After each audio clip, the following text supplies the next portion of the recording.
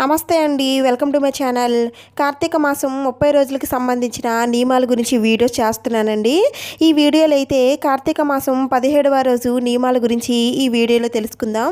ఈ సంవత్సరం కార్తీక మాసం నవంబర్ ఐదో తేదీన శుక్రవారం పాడ్యమి తిథితో ప్రారంభమై డిసెంబర్ నాలుగో తేదీన శనివారం అమావాస్యతో ముగుస్తుంది.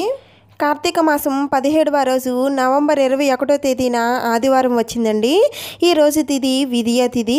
ఈ తిది నవంబర్ ఇరవయో తేదీన మధ్యాహ్నం రెండు గంటల యాభై ఏడు నిమిషాలకు ప్రారంభమై నవంబర్ ఇరవై ఒకటో తేదీన సాయంత్రం ఐదు గంటల నాలుగు నిమిషాల వరకు ఉంటుంది. ఈరోజు బ్రహ్మముహూర్తం తెల్లవారుజామున నాలుగు గంటల యాభై రెండు నిమిషాల నుండి ఐదు గంటల నలభై నిమిషాల వరకు ఈరోజు అశ్విని దేవతల్ని పూజించాలండి. ఈరోజు నిషేధించవలసినవి ఉల్లి ఉసిరి చెద్ది ఎంగిలి చల్లని పదార్థాలు అలాగే తరిగినటువంటి ఆహార పదార్థాలని తీసుకోకూడదు. ఇంకా ఈరోజు చేయవలసిన దానాలు ఏంటంటే ఔషధాలు ధనాన్ని దానంగా ఇవ్వాలి. ఈరోజు రుద్రాష్టకం ఎనిమిది సార్లు పారాయణం చేస్తే చాలా మంచిది. ఇంకా ఈరోజు పఠించవలసిన మంత్రం ఓం అశ్విని వైద్యతే నమ స్వాహ అనే మంత్రాన్ని పఠించాలి. ఈరోజు ఇవన్నీ చేయడం వలన కలిగే ఫలితం ఏంటంటే దీర్ఘకాలికంగా ఉన్న వ్యాధులన్నీ తగ్గిపోతాయి. అలాగే మంచి ఆరోగ్యం కలుగుతుంది.